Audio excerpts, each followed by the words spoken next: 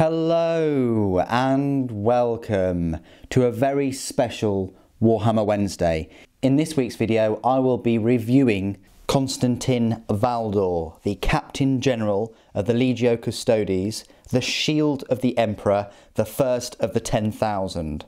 He is the right hand of the Emperor himself, his most trusted companion and guardian, a watchman of inviolable purpose and unmatched fighting skill. He is a Primarch in all but name, and he is yours for the low, low price of £60. I think this has just taken the crown for my most favourite model um, so far in the hobby. And I'm saying that with the Warlord Titan out of earshot right now. Um, I absolutely love this model. It comes in a, a fancy sort of double story Horus Heresy um, character box. Uh, you get the world's uh, best colour step by step guide. Uh, instruction booklet. You don't, you just get pictures of the pieces, which is not very helpful at all. it would have been nice if they did have an instruction guide. Um, I'm just making fun of that. It's a little bit like a Contemptor Dreadnought. You don't normally get a guide with that. Uh, you just expected to know how to build it um, just from all the pieces. And he does consist of 17 pieces, not including the two bases. Uh, you get two bases in this. I think one is a oh, I want to say a 60 mil. Oh, it might even be 80 mil. And you get the uh, 40 mil base too. Now I will be going through all of his rules uh, in the second half of the video that can be found in the 80 pound book, uh, you know, book seven of the Horus Heresy called Inferno, which has a lot of Custodes in there. There's still a group of models that they haven't well, they probably have made, but they haven't released yet, which is the Hetaeron Guard. At the moment, I think people are just proxying normal Custodian Guard. I would absolutely jump at the chance of uh, getting hold of um, some Hetaeron Guard that Forge World have made, because they're kind of like the inner circle uh, of the Emperor's bodyguard, kind of like the top bodyguards for him, and they'd probably look really cool around um, Valdor too. But before I go into the rules, let's have a huge breakdown of the model and display some size comparisons as well, because he's quite a big, uh, big guy. First of all, before we uh, address those kind of things, um, let's just have a look, little look at a picture of him in the uh, Horus Heresy Inferno book. So this is, I'll just sort of zoom out. This is kind of what he looks like in the book, and that's what I was expecting. Um, I think this is a young Valdor, um, maybe before the Crusade uh, or something like that. But um, I think the one that we've got, the model on the right hand side there, is when he's uh, sent off to Tizca to enact the Emperor's word. His word is the Emperor's word. Um, essentially. If you Google Valdor 2, um, you'll probably see some images of him, um, I say quite young, with kind of like a Mohican um, kind of haircut, with kind of different armour. Not as blinged up armour, I want to say. It doesn't have the big horned beast, it doesn't have the big raven or the cloak uh, or, or anything like that. It's quite a young Valdor, probably just rising through the ranks. So first of all, let's have a look at the model itself. I want to say straight away, if you are on the fence, go out and get him. This is £60 well spent. It's double the price of the uh, Shield Captain, which I will put in the video in, in a moment, but you get so much more. It's like having your own little Primarch. Nothing stopping you from using him in a game as a Shield Captain, nothing at all. So let's have a closer look. Now what I've done with mine Yours doesn't come with magnets. Somebody asked me about the Warlord Titan the other day, like, does it come pre-magnetized? Crikey, can you just imagine how much it would be if they did pre-magnetize it all? It'd be so much more money. Um, but no, it's a hobby. You have to get creative. They don't come pre-painted. Sometimes you have to walk the road less travelled, if that makes sense. And that's what I've done with this model. That's what I did with the Warhammer 40,000 character series Gabriel Angelos uh, model. I've magnetised the, the base. What I mean by that is uh, We'll, we'll have a look at the, the detail in a moment, but I put a, you don't have to put this many magnets as well. You don't have to turn the model into a, a shrine to Magneto or something like that, but They've got a little magnet there and one there, and they uh, directly correspond to the magnets in here, and they will just slot in and, and hold in place. Likewise here, I've got a couple magnets and a couple magnets there, and they will slot in place. That's great because you can't physically um, glue the model like so and then have these on you can't really have them loose. They wobble about too much and they come off. If you were to glue them, then you're trapping Valdor in his massive base. And we don't really want to do that. So, like the Gabriel Angelos model, um, I've magnetized them so I can just take, take these parts off and just have him on his base when he touches down after teleporting or jumping out of an Orion dropship or um, something like that. First of all, let's have a look at the base itself and all the details. So yes, it is uh, Thousand Sons, um, dead bodies around, there's Tizca, Tizca iconography, you've got a little, symbol here, which I've just realised there's a huge bit of slippage, uh, so I'm going to have to tidy that up. Um, that's going to be really, really tricky to get in there, so uh, that's my job for the rest of the afternoon, I think. But you've got some uh, destroyed uh, scenery here and uh, Thousand Son Mark IV uh, armour head there some scarabs on the uh, masonry. Got some more Tizca symbols and runes. Um, lots of detail on here. This is where it gets a bit ugly. Um, I filed that down and smoothed that down as best I can. I obviously put some green stuff there as well. Um, when that's sprayed and painted, you're not really going to see it that much. Um, but yeah, this part of the base um, glues into that. Um, and that's pretty much just, just two parts. But yeah, lots of detail. Going to be great for uh, shading and highlighting. This is the other part that just uh, affixes here on the lower part of the base. Um, again, lots of detail of, of, on the rocks, and uh, this just has a bit of a piece of uh, fallen masonry too. A load of detail there, and that will just go there. So that's his like uh, scenic base. Um, pretty cool. I do love models that come in the scenic base. Let's have a look at the model himself. Now, he is very busy but he's the right hand of the Emperor. I highly doubt they're just going to have the Emperor model, which they will make. You can guarantee it. Might not be next year, might be 2020, might be in five years' time. Who knows? But you will get a model because in Inferno it says, it specifically says if the Emperor is on the battlefield. So you will get a model to reenact uh, the Ullanor uh, wars as well. They'll probably release larger orcs for that or something like that. But anyway, he's bound to have a lot of bling. He's not Stormtrooper number 5852, is he? He he is one of the key characters in the, the Horus Heresy, uh, in the whole universe. Like a Primarch, uh, quite a few of the Primarchs have a lot of things going on. This is a guy that's come to Tizca to make a statement. He's very blinged up. He's got the beast claws. He's got a beast head there. I'll do some. Uh, I'll zoom zoom in a fair bit so you can see all the detail. Lots and lots of detail, lots going on. Maybe it's too much, but I think it works, and that's just my opinion. Like all art, very subjective. It looks like he's leapt straight out of uh, a piece of artwork. Uh, in my my view.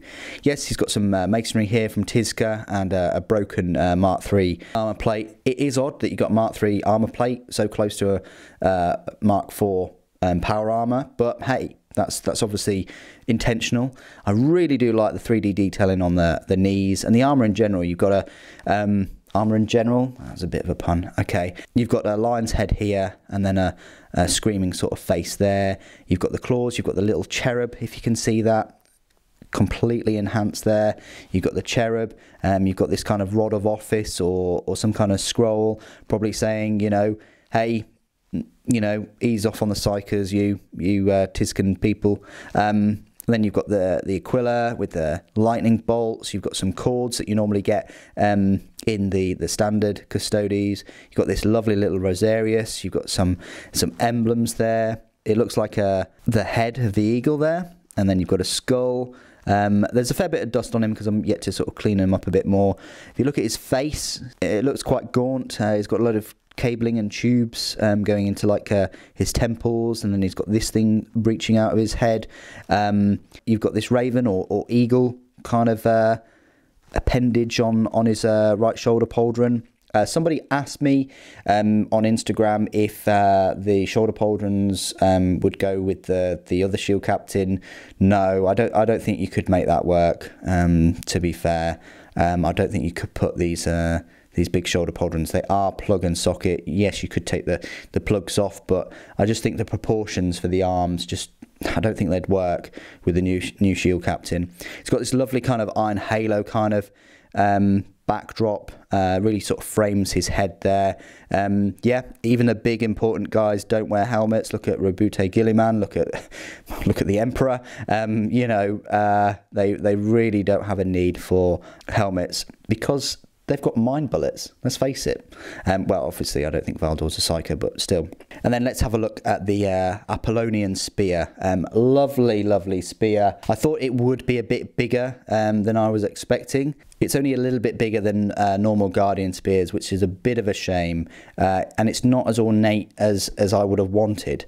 Um, yes, the the cutting edge length is is very long, easily the longest cutting edge length. Um, and Forge World, if you look at the um, the model on their website, have done an absolutely stunning job again with the the paint job, um, just to get that look at the and the feel of like the the weapon's power of the molecular uh, severance um, kind of ability. And the Paragon kind of bolter um, looks pretty immense too. Very small kind of magazine entry port though, I have to say. Um, I feel that that's quite big sort of wasted space. But anyway, uh, this is the, the beast in question then. Um, some don't really like it. Uh, I mean, it is just a beast head. Um, you got some claws and stuff there. It's not like it's a, a big dead animal sort of you know, on the shoulder. It is just the head and a bit of the mane. Uh, it's not attached to this um, kind of uh, these these claws here. It's uh, its own separate thing. I do like uh, all of the detail on there, specifically the ears of the beast, the horns, the teeth. I think it really works, um, and I really like the uh, cape. Lots of detail, lots of creases. Uh, it's going to be really quite straightforward to, to paint that uh, Aquila with the lightning gold and uh, these little uh, pieces here on the cape and I like the long scrolls that are coming uh, from the the eagle as well or the raven whatever um, I do find it odd still that the shoulder pauldron is sort of reversed I think I've said this in in other videos before like the pre-order video that typically the Custodes have uh, this shoulder pauldron the one with the gaps on the the left uh, arm um, but for some reason uh, Valdor has, has swapped them round it's probably just a detail that I would I would notice, but there you go.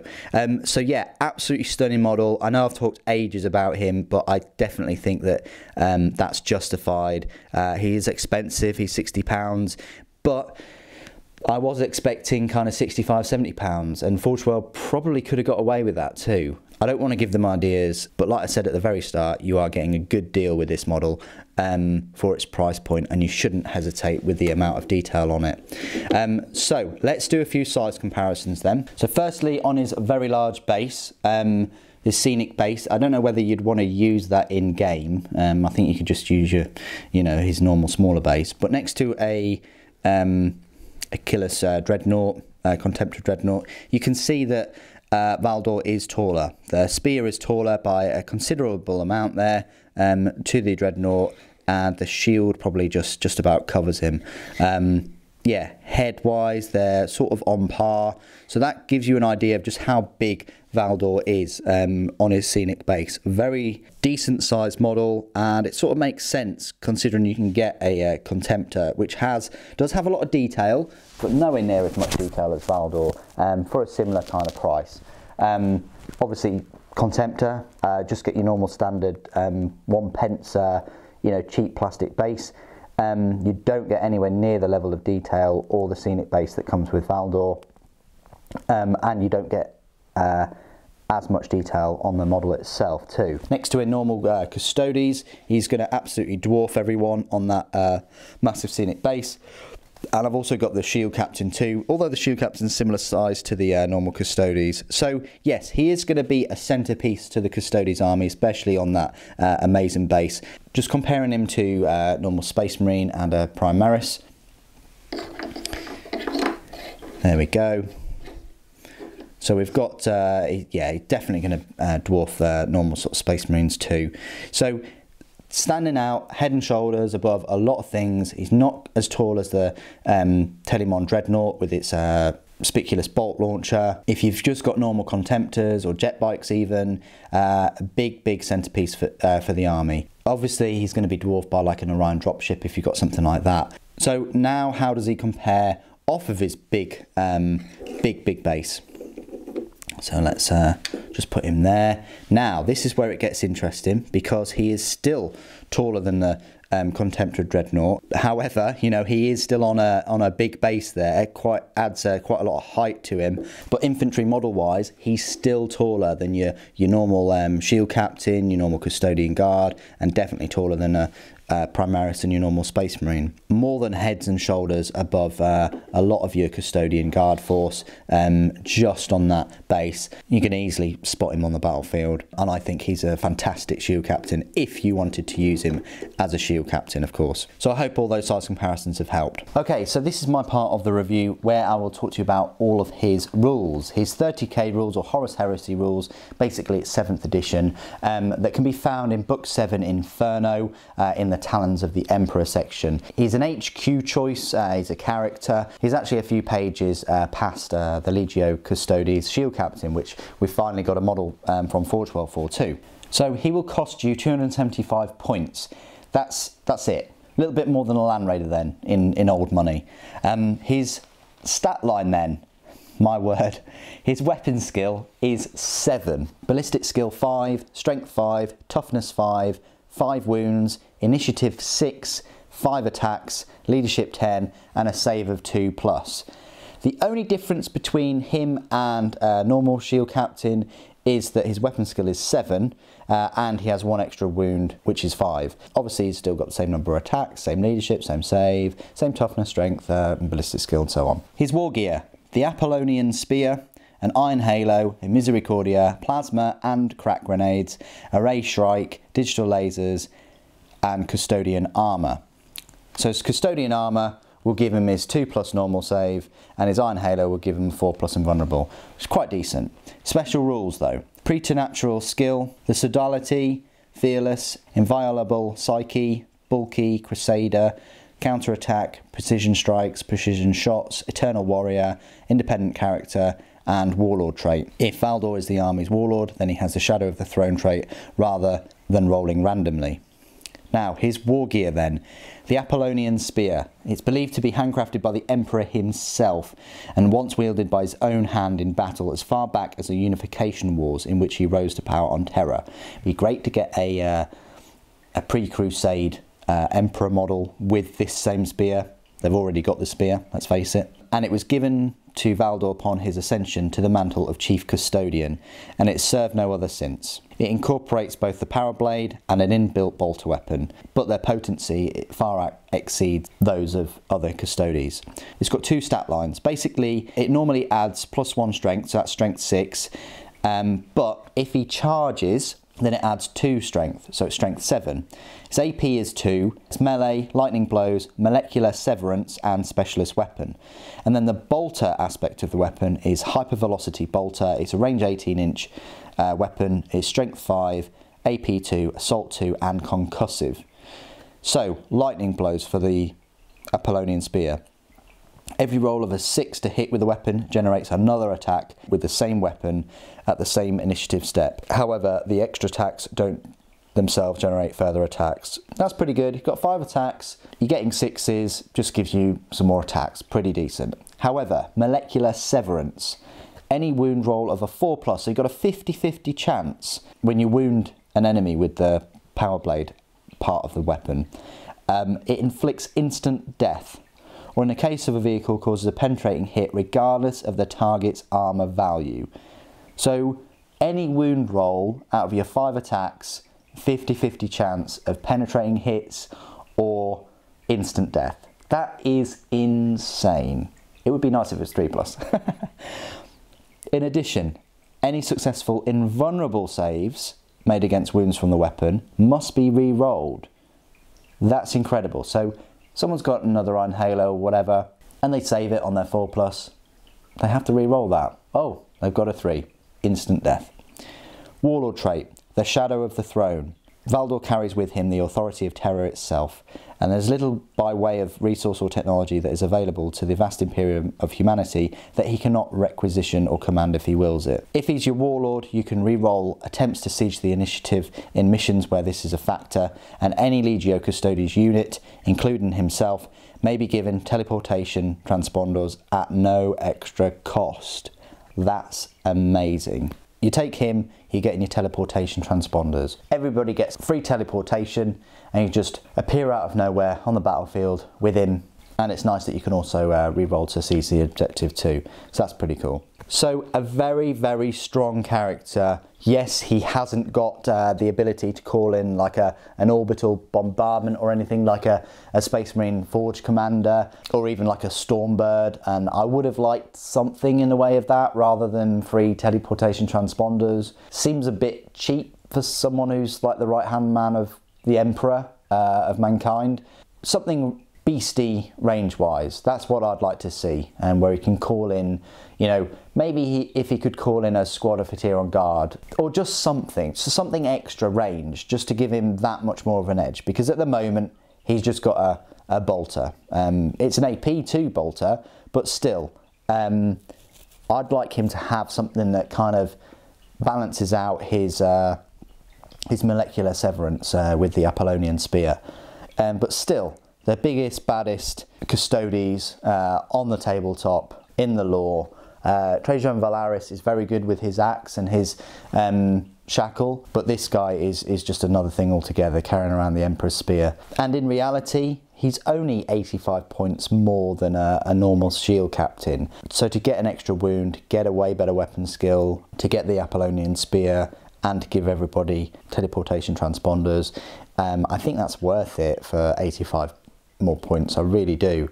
Teleportation transponders are normally five points each anyway, so if you've got, I'll go for the lowest number, I'll go for squads of three, um, that's 15 points per unit. So if you've got 14 custodes uh, or more, in your army, then it's worth it just to get those uh, teleportation transponders.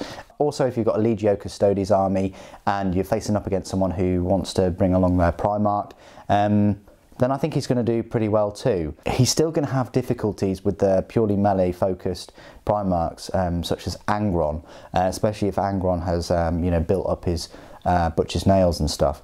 As a collector, it's great to have him in my collection as the leader of my uh, Custodes army. But I want to hear what you guys think. What do you think of the model? Uh, what do you think of the rules? Have you already painted him? Have you already played a game with him? Please do put it in the comments below as always. Thank you ever so much for joining me today. Thank you for watching. The Emperor Protects.